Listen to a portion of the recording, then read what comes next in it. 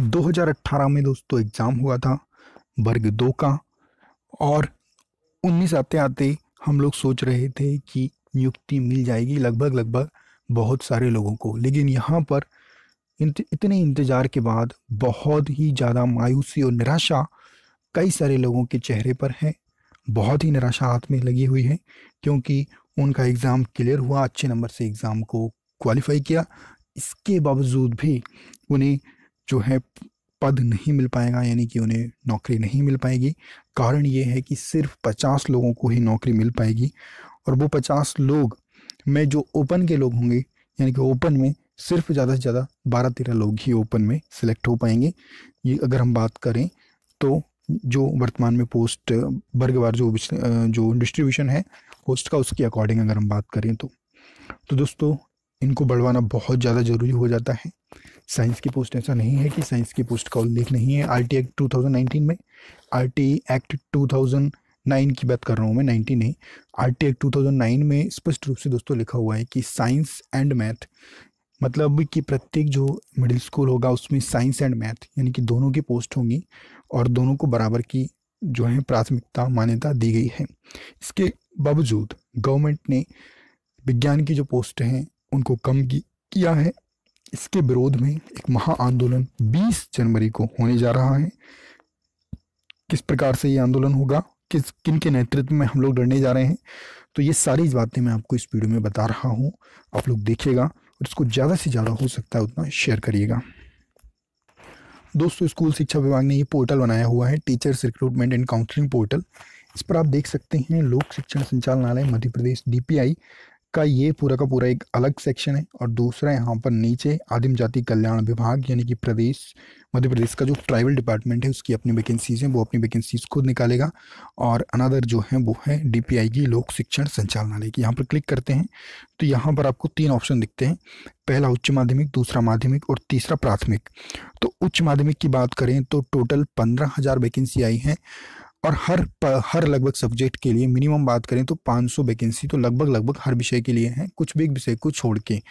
कुछ एक में लगभग मतलब जो बहुत ही कम जिनका जिनमें फॉर्म आए हैं, उनको छोड़ के मिनिमम बात करें तो 500 200 200 वैकेंसी किसी किसी में है, किसी में 500 है, किसी में हज़ार है, किसी में 1700 है और सबसे ज़्यादा अंग्रेज़ी में लगभग अट्ठाईस वैकेंसी ग्रेड वन के लिए है।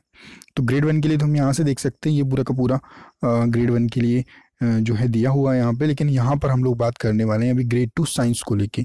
तो यहाँ पे मैं आपको बता दूँ, ये देखिए माध्यमिक शिक्षक पर हम क्लिक करते हैं। तो यहाँ पर आपको, ये पूरा का पूरा आपको दिखेगा और यहाँ पर अगर हम विषय बार एवं वर्गवार पर वर्गवार रिक्तियाँ देखें तो इसको हम यहाँ से देख सकते हैं। मैं इसको डाउनलोड कर लेता हूँ और डाउनलोड करने के बाद हम इसको देखेंगे। चलिए, यहाँ पर डाउनलोड करने के बाद इसको ओपन करते हैं।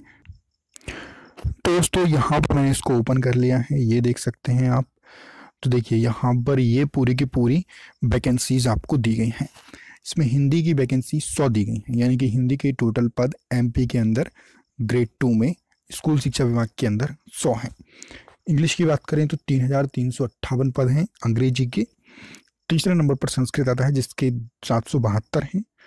उर्दू अट्ठारह पद, मैथ्स के तेरह सौ बारह बायोलॉजी के पचास सोशल साइंस के साठ। अब अगर हम बात करते हैं यहाँ पर सीरियल से तो देख सकते हैं, सबसे ज़्यादा पद हैं आपके इंग्लिश के तीन हज़ार तीन सौ अट्ठावन, दूसरे नंबर पर आता है संस्कृत, जिसके सात सौ बहत्तर पद हैं।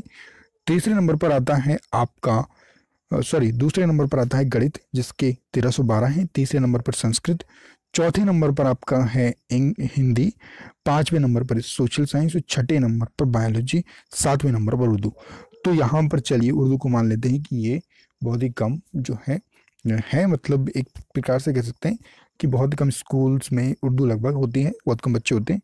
तो उस हिसाब से ठीक है, पद मान के चलिए अट्ठारह हैं। लेकिन बात करें यहाँ पर बायोलॉजी की तो दोस्तों बायोलॉजी एक ऐसा सब्जेक्ट है कि ये लगभग हर एक क्लास में इम्पोर्टेंट है, हर एक बच्चे के लिए इम्पोर्टेंट है और हर स्कूल में इम्पोर्टेंट है। और इसके लिए अगर हम बात करें ओनली पचास पद आपके पास आए हैं तो आप समझ सकते हैं कि इसको क्या महत्व दिया गया और ये कारण क्या हुआ है कि इन्होंने पद जो संरचना है मतलब पहला पद, द्वितीय पद, तृतीय पद जो इन्होंने प्राथमिकता दी है पद विषय को, उसमें उन्होंने प्रथम प्राथमिकता इंग्लिश को, सेकंड प्राथमिकता इन्होंने गणित को दी है, थर्ड इन्होंने जो है सोशल साइंस को दी है। बस सोशल साइंस की भी इन्होंने सिक्सटी पद दिए हैं।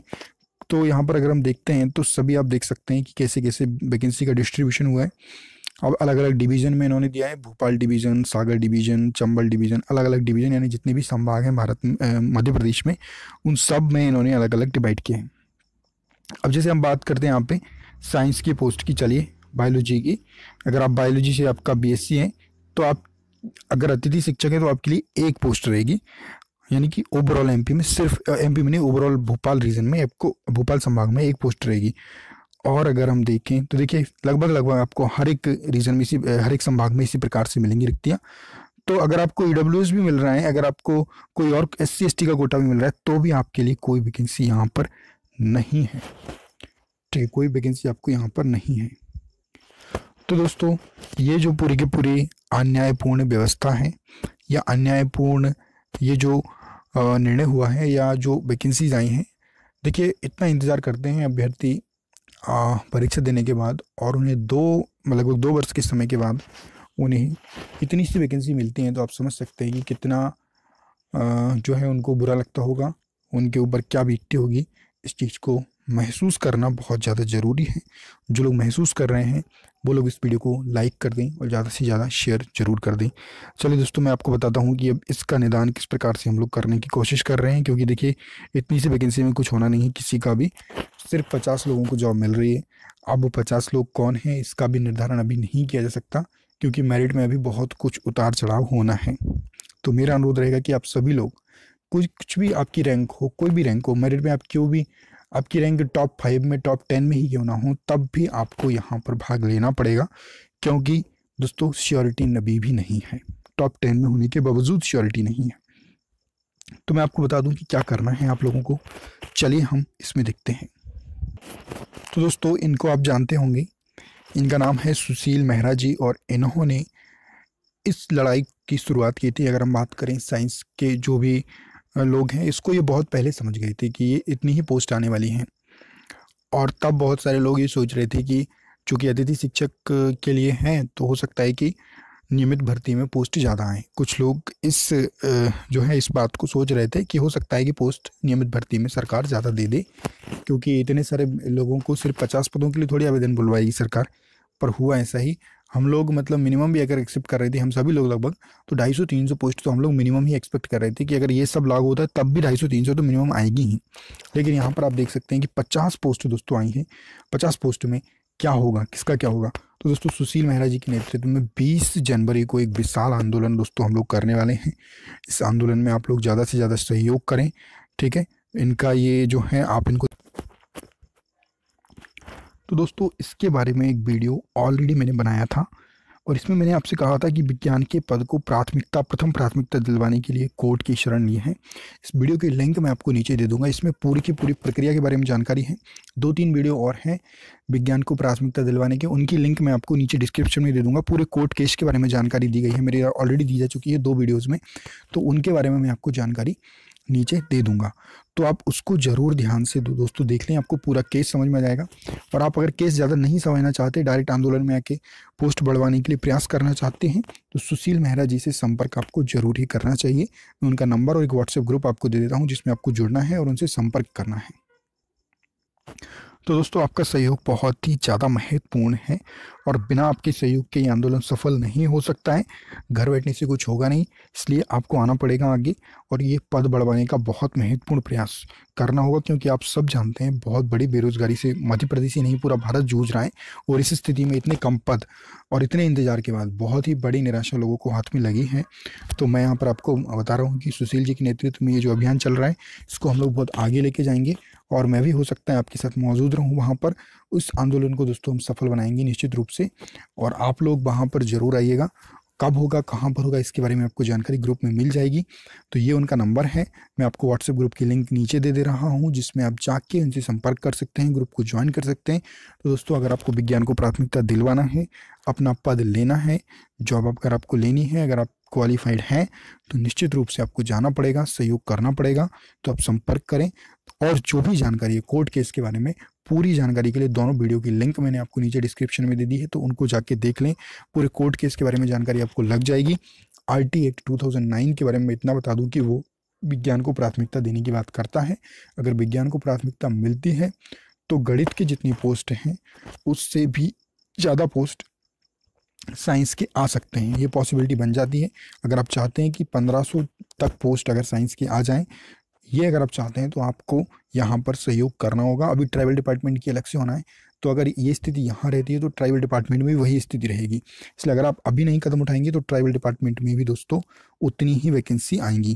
तो इसलिए मैं आपसे कह रहा हूँ कि आप लोग आइएगा और ज़्यादा से ज़्यादा सहयोग करिएगा सुशील जी का और मैं उनका नंबर वगैरह आपके सामने शो हो रहा है, आप उनसे कॉन्टेक्ट करें, सहयोग करें उनका। ग्रुप के लिंक नीचे डिस्क्रिप्शन में है, ज्वाइन करें। ज़्यादा अपडेट्स के लिए हमारी वेबसाइट से जुड़े रहें और हमारे फेसबुक पेज को लाइक कर लें गुरुजी ऑफिशियल को। हमारे फेसबुक पेज पर आपको आंदोलन के बारे में अपडेट मिलते रहेंगे। तो हमारा फेसबुक पेज है जिसके बारे में आपको बता दे रहा हूँ। तो दोस्तों, ये है हमारा फेसबुक पेज आप जाके यहाँ पर सर्च कीजिएगा और लाइक कर लीजिएगा इस पेज को। तो यहाँ पर बहुत सारी जानकारी मिलती रहेगी। जो भी अपडेट आएगा, मैं आपको सबसे पहले यहाँ पर आपको अपडेट दे दूँगा। आंदोलन के बारे में जानकारी, आपको ताज़ा जानकारी यहाँ पर मिलती रहेगी। तो आप लोग जल्दी से जल्दी जाके जो है, यहाँ पर इस ग्रुप को ज्वाइन कर लीजिएगा। ग्रुप को नहीं सॉरी इस फेसबुक पेज को लाइक कर लें। बस लाइक कर लें आप, आपको जानकारी मिलती रहेगी और अब इसको बार बार आप खोल के देखते रहें। यहाँ पर जो आंदोलन होगा, उसके बारे में पूरी जानकारी मैं आपको दूँगा। सुशील जी का नंबर मैंने आपको दे दिया है। व्हाट्सएप ग्रुप की लिंक आपको नीचे दे दी है। अब आपके ऊपर है। आप क्या पद बढ़वाना चाहते हैं? अगर बढ़वाना चाहते हैं तो आइएगा, आंदोलन में सहयोग करिएगा अगर आप चाहते हैं कि आप पद ना बढ़ें, यही स्थिति रहे तो आप बिल्कुल सहयोग मत कीजिएगा। ये आपके ऊपर डिपेंड करता है। लेकिन दोस्तों हर एक व्यक्ति बहुत निराश है और इस स्थिति में अगर आप सहयोग नहीं करेंगे तो बहुत ही ज़्यादा यहाँ पर आप समझ सकते हैं कि ट्राइबल डिपार्टमेंट में भी यही पद रहेंगे। मतलब सरकार को एक्शन नहीं लेगी पद बढ़ाने के लिए, क्योंकि आपको यहाँ पर आंदोलन करना ही पड़ेगा, तभी यहाँ पर निश्चित रूप से पद बढ़ सकते हैं। सुशील जी इसका नेतृत्व बहुत समय पहले से कर रहे हैं, बहुत पहले से उन्हें पता था इन पदों के बारे में कि इतने ही पद आएँगे और इससे थोड़े और बहुत ज़्यादा एक्सपेक्ट कर रहे थे, लेकिन पद और भी उससे कम आए। तो आप समझ सकते हैं कि क्या स्थिति है, इसको लेके आप लोग को आना चाहिए। सारी जानकारी आपको डिस्क्रिप्शन में दी गई है। दोनों वीडियोस के लिंक भी दी गई है तो जाके ज़रूर देखिएगा। इस वीडियो को लाइक शेयर करना बिल्कुल मत भूलिएगा। Thank you thank you very much